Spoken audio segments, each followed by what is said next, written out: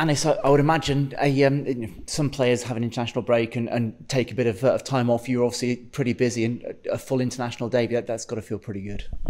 Yeah, it's always good, you know, um, to go away with international is it's an honour, and um, yeah, making my debut for, for my country was also special. Yeah. Do you get nervous in those moments, or is it just something that you think, right, I, I've been trying to do this for so long, let's just go out there and enjoy it?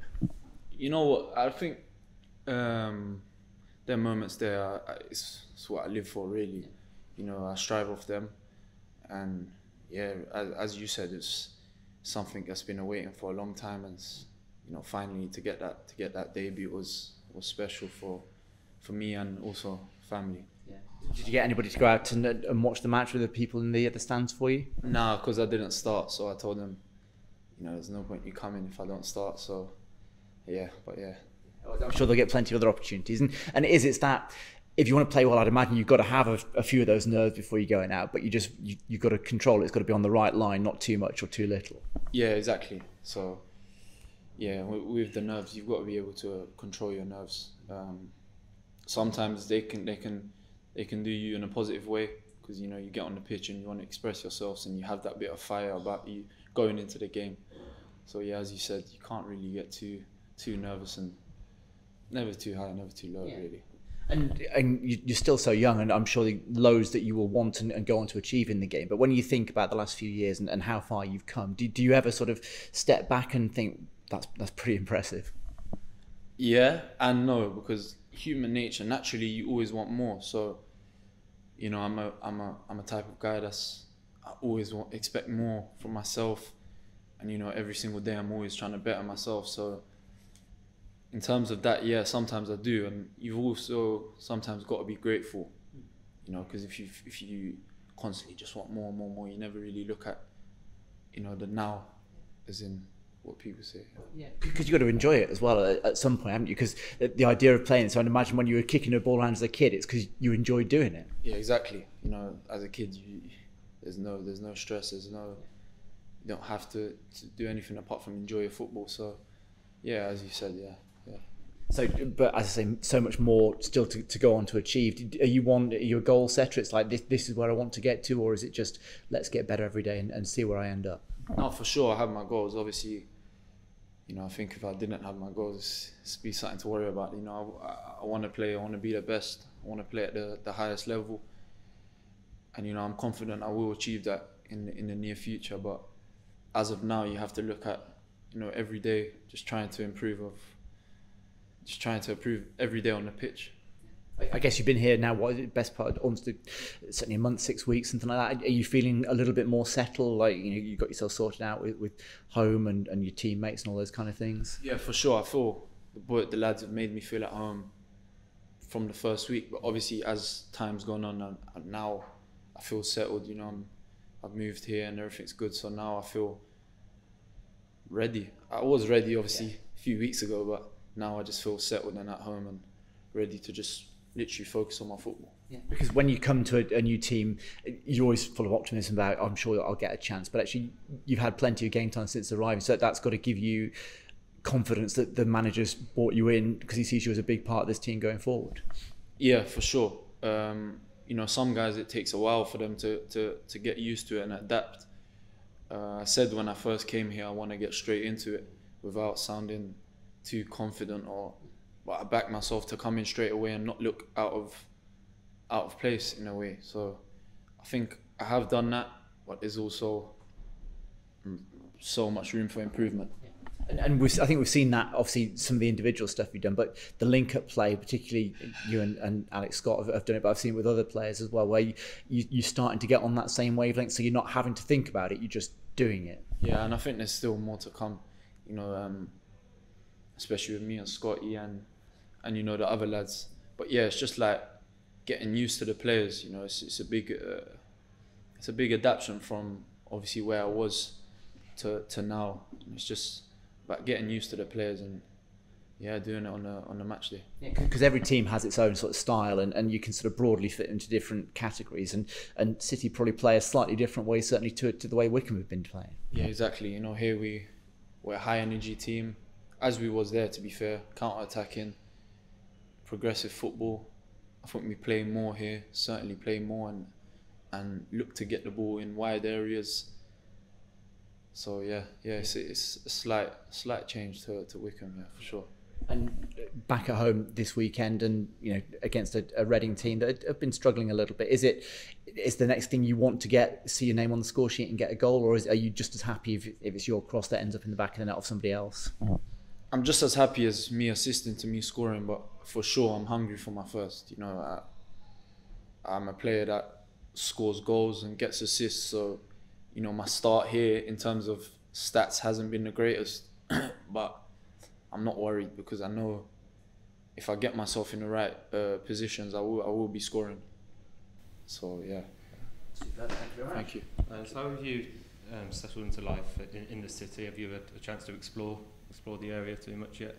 Not really, not really. I don't think uh, my life is literally just training and, and, and, resting, getting ready for the next day. So I w- haven't really explored much. I went out a few times to eat and that, but nothing, nothing too crazy. No.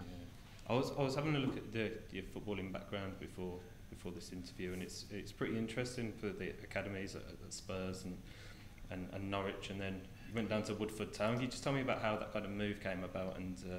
Uh, Um, obviously, I was in the academy set up from like eight years old, and then terminated my deal at Norwich, and then found myself, you know, without a club for a couple months. Had a friend of mine that had a his dad um, was at Woodford and told me come just keep fit whilst another club, you know, brings you in, and that's what I done. I went there for a couple months, played, and yeah, and then COVID hit, and then in the summer I just I went to Wycombe on a trial and kicked on from there really.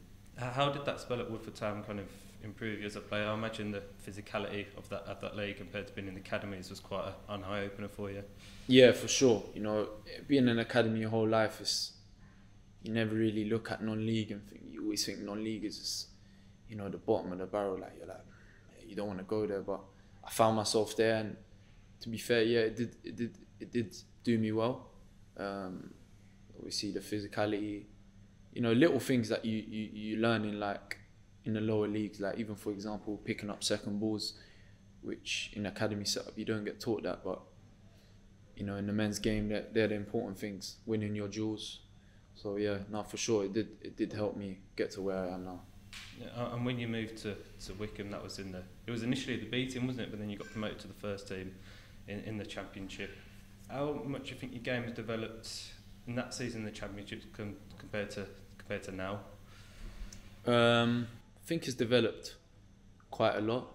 Um, as I said, there's always more room for improvement. The champ is completely different to League One. I think champ is more of a it's more patterned than League One. League One's more of just a fight and so yeah, no, I, I think since my first season in the champ, I have improved as a player, but I think there's so much more to come.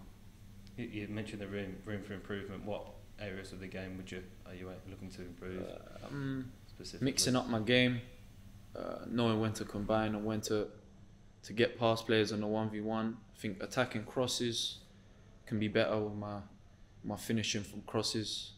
You know, uh, here at City we we get we get we get balls down the line and we like to flash balls across, and that's where some of my goals are gonna come. Whereas at Wycombe it was more flick ons and mistakes and sec- and like drop down. So it's it's still adapting to you know the City way and and just studying ways to to get myself scoring as much goals as I can. Yeah.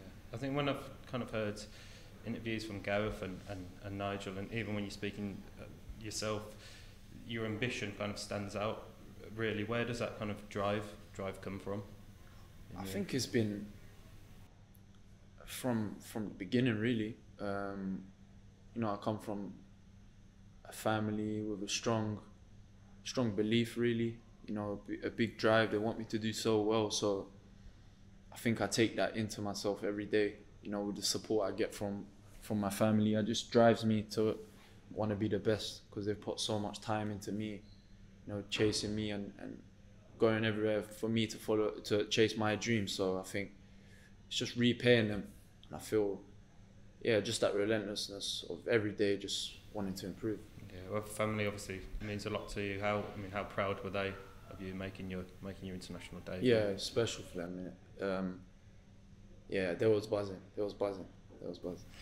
So, what does um your game? Is there any players that you kind of watched over the years and you've prided your game on that you've that you kind of studied in particular?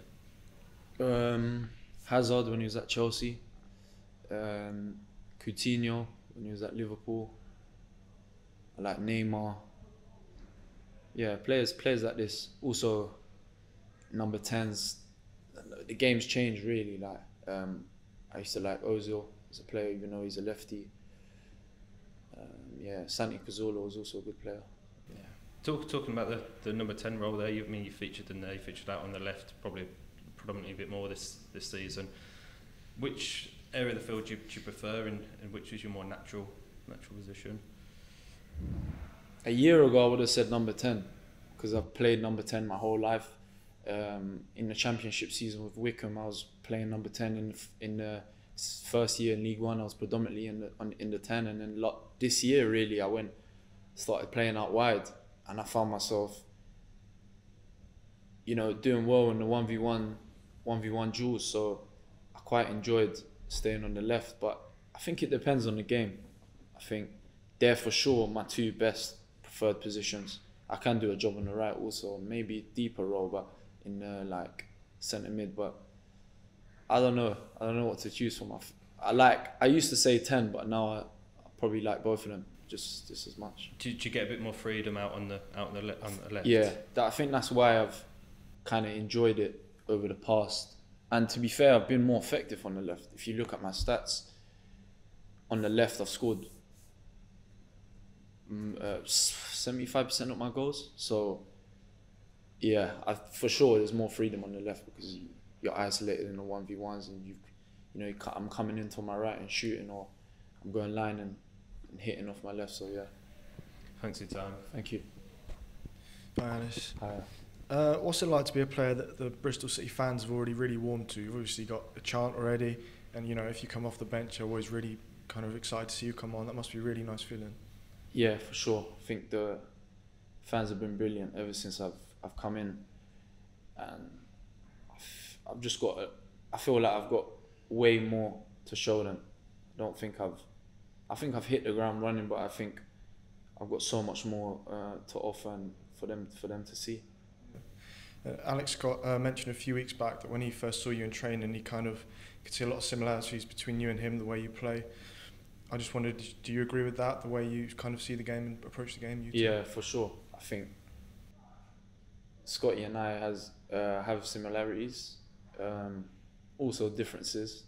Um, yeah, I saw I saw what he said, and uh, yeah, we we do have similarities. To be fair, Scotty's a top player, so yeah. And uh, coming up this weekend, Reading, uh, a side that will probably sit back, so you'll probably have a lot of the ball. Do you feel like you're you can be one of the key men in games like that because of your kind of technical ability to get in between the lines? Yeah, yeah. Um, you know, I go into games confident. I know Reading are going to be a tough opposition. You know, we've just come off the back of two losses, so it's, we have to put it right on Saturday, really. And um, yeah, looking forward to Saturday. Yeah. Uh, your old boss, uh, Gareth Ainsworth, spoke to you this morning. How delighted he was for you to receive that call up. He said he uh, he gave you a, a call last week before. Just wondered how nice that was and what what did he say? Just congratulations. Yeah, he called me and just said uh, that he's so happy for me, and you know, it's all I ever wanted, even when I was at Wycombe.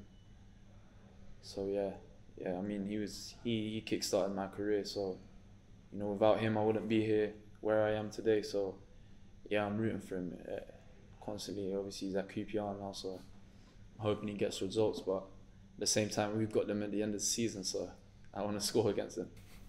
Uh, and he also said that he, believes you can get to the Premier League. I know you're very ambitious. That must be really another positive thing to hear from from an ex-coach. Yeah, for sure. Um, you know, he believes in me a lot, and um, I also, without being, you know, too arrogant, I believe in myself a lot too, and I, I like the pressure. I like wanting to be. I like people saying that about me because and then I can, you know, really go and